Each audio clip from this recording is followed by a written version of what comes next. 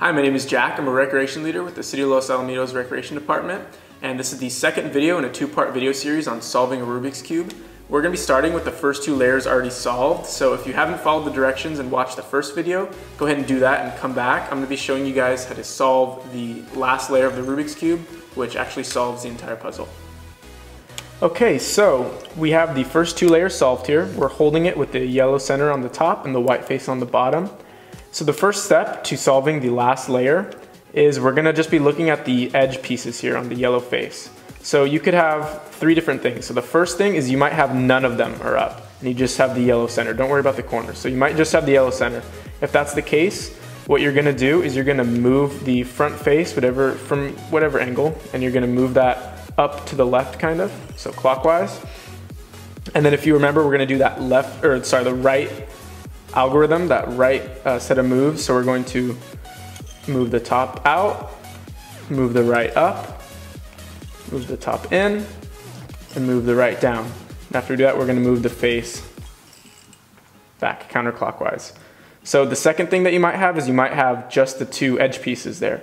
And if that's the case, you wanna hold it so that's horizontal, so it's a horizontal line if they're across from each other. And you're gonna do it the same thing that we just did. So the front face goes up clockwise.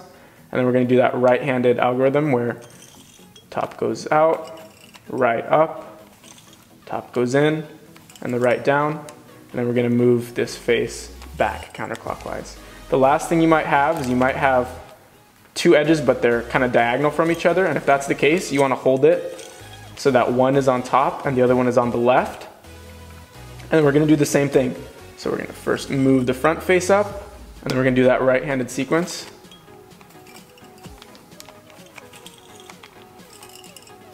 And then move that face back. And then we have our yellow cross. Okay, so the next step, once we have our yellow uh, cross up here, is we want to take the edge pieces and we want them to all be matching colors with the centers.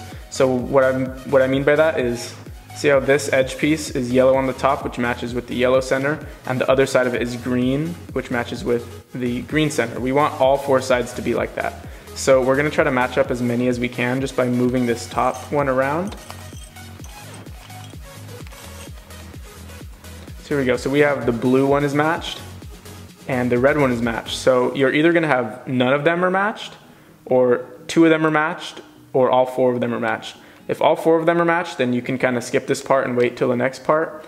And if none of them are matched, then you're gonna just do this uh, next sequence just from facing anywhere as long as yellow is on top. If you have two like mine here, you're gonna hold it so that one of them is in the back and one of them is on the right side.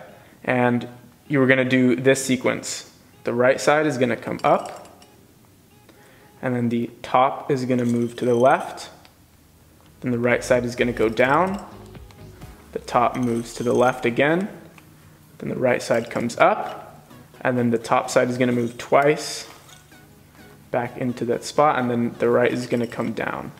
And now all of the edge pieces should be matching colors. So they're all matched. So this one is orange, matches with the orange center, blue with the blue, red with the red, green with the green, and our yellow cross is still there. So the, uh, one of the last steps for solving the cube is now we're looking at our corner pieces. So we're gonna see if any of them are in the right spot right now, and it doesn't look like any of mine are. So, but what I mean by that is, see how this one is the yellow, blue, and red corner, but it's in between blue and orange. So that one's not in the right spot. This one is orange and blue and yellow, and it does have blue there, but the orange does not match with the red. This one is the yellow, orange, and green. And it's between the yellow, green, and red, so none of mine match. If yours does match, then just have it on the right side, and what we're gonna do is this sequence. And if all four of yours are matched, then just hold on and we'll solve it on the next spot. You got really lucky. Um, what you're gonna do here is you're going to move the top to the left, move the right side up, move the top to the right, then move the left side up, and then you're gonna move the top to the left, move the right side down, and then you're going to take the top, move it to the right, and move the left side down. And one of mine just got in the right spot. So this one is in the right spot because it's green, orange, and yellow. This one's still not in the right spot because it's red and that doesn't match with the orange. This one's not in the right spot because it has the green. This one's not in the right spot. So we're gonna do it again. This one is in the right spot, so we're gonna hold it on the right and we're gonna do the same thing again. So we're gonna move the top to the left, the right goes up, the top goes to the right, the left comes up, the top goes to the left, the right side goes down, the top goes to the right, and the left goes down. Now, looks like all of mine are in the right spot, but they're still not oriented properly, but they're still, it's still the right piece. This one is the green, red, and yellow, and it's between the green, red, and yellow. This one's the yellow, red, and blue, and it's between the yellow, red, and blue. So now all our corners are in the right spots, and yeah.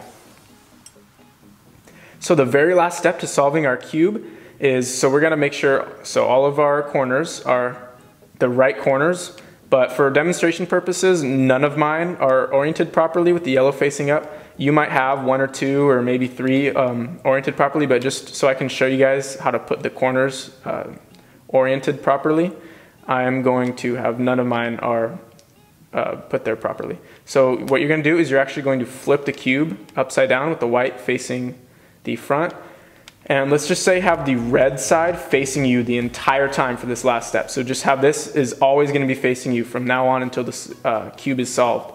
So we're going to take this corner here and we're basically just going to do that right-handed algorithm until this one is with the yellow on the bottom. So we're just going to do that out, up, in, down. And now we're just going to do it again. Out, up, in, down it's still not there. We'll do it again. Out, up, in, down. Still not there. Out, up, in, down. And we just got it. So that one's there now. So once you have a corner in, we'll just put another corner that's ready to get switched. So now that one's down there. Now we're gonna do the right-handed algorithm again. Out, up, in, down. Still not there. We'll do it again. Out, up, in, down. Now that one's solved. So we're gonna move to the next corner. Now the next corner is in our spot. We'll do the right-handed algorithm. Out, up, in, down. We'll do it again. Out, up, in, down. We'll do it again. Out, up, in, down. We gotta do it another time. Out, up, in, down, and that one's solved. Now we have one corner left, so we're gonna put that one in our spot. And we're gonna do that right-handed algorithm. Out, up, in, down. Do it again. Out, up, in, down, and now your cube is solved. So there you go. I hope you were able to successfully solve your Rubik's Cube. You can practice doing it as fast as you can, memorizing all the different uh, sequences that you need to use, and you know, timing yourself to see if you can you know, beat your highest time and whatnot. And I hope you guys enjoyed this video, and I'll see you next time. For more fun videos, follow us on our social media pages and visit our virtual community center at cityoflosalamitos.org slash recreation.